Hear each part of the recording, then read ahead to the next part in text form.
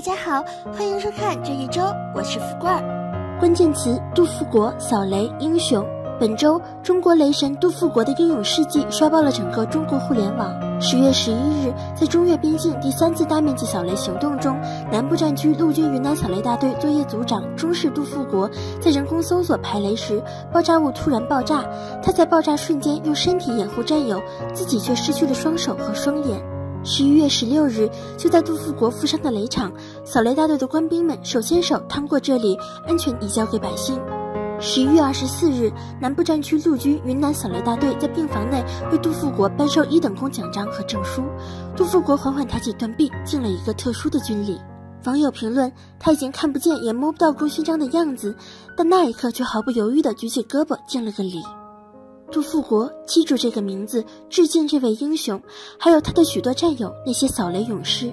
早晨上班的地铁上看哭了，能够这样平平安安的乘坐地铁上班，是因为有人把危险挡在外面，很珍惜现在的每一天。希望国家可以照顾好他的后半生，也希望科学技术能够尽量早的优先给英雄们带来帮助。愿一切安好，国家和人民需要这样的英雄。有网友评论：按优抚条例可评一级伤残，外带终生护理费，生活保障可无忧，大家放心吧。本周绿岛舆情热议指数五十九点一五万。扫雷兵，和平年代离死神最近的职业之一。他们的面前是战场，他们的背后是一方平安。致敬英雄扫雷兵杜富国，致敬中国扫雷兵。关键词：陈羽凡吸毒零容忍。十一月二十八日下午，北京市公安局石景山分局官方微博发布通报称，根据群众举报，警方抓获两名涉毒违法人员陈某和何某某。后经证实，陈某系歌手陈羽凡。目前二人已被行政拘留。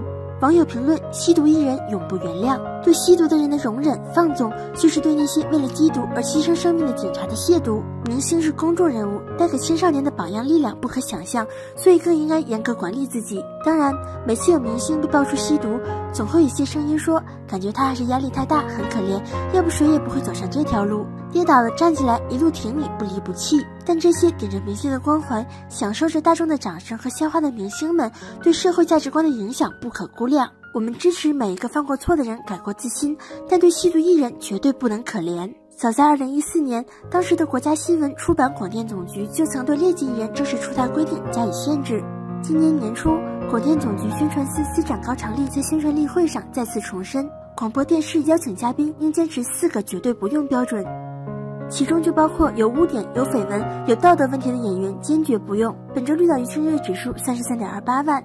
人生总要奔跑，但千万别跑错了方向。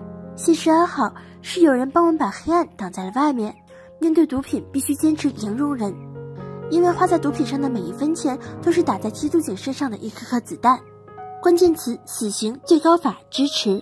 十月二十八日，云南、四川、贵州等地的四名强奸、杀害未成年人的罪犯被执行死刑。其中，罪犯陈玉章利用教师身份和便利条件对女学生进行性侵，被害女生多达十余名，且大多是幼女。其中多名幼女被奸淫多次，有的甚至多达数十次。被害女生身心受到极大摧残。罪犯潘永贵系累犯，伙同他人专门针对在校女生进行性侵，造成被害女生怀孕跳楼。罪犯徐川云从公共场所将十岁女童骗至偏僻处，先奸后杀。罪犯杨胜松因感情纠葛滥杀两名无辜儿童。对于最高法坚决从重惩处伤害无辜未成年人的罪犯的做法，全网爆赞，表示坚决支持。保护祖国的花朵，死刑即是零容忍，支持。感谢中国还有死刑，给这些罪大恶极的一个归宿。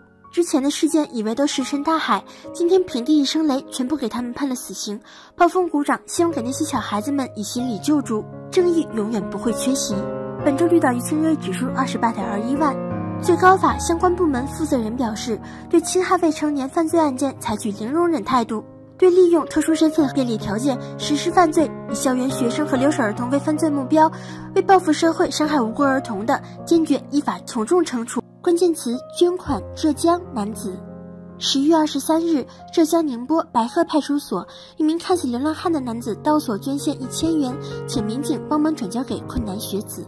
他说：“我在报纸上看到助学计划，也想捐点钱。”男子还说：“这些钱都是正规渠道来的，请放心交给贫困学子。”民警提出可以少捐一点，他却说：“我能照顾好自己。”此举瞬间感动周围人，前来办事的市民纷纷解囊相助。事情在网上也引发了热议，网友纷纷留言评论：“他是拾荒者，不是乞丐。即使衣衫褴褛，也掩盖不了你那个高贵的灵魂。位卑不敢忘忧国，流浪不忘寒门学子。有的人金玉其外，败絮其中；有的人衣衫褴褛，灿若彩虹。善良的人会有福报的。”还有网友认为，我希望有一天再发布这样的新闻，可以加一句话：我们高度赞扬他的品格与精神，但他才是真正应该被资助的人。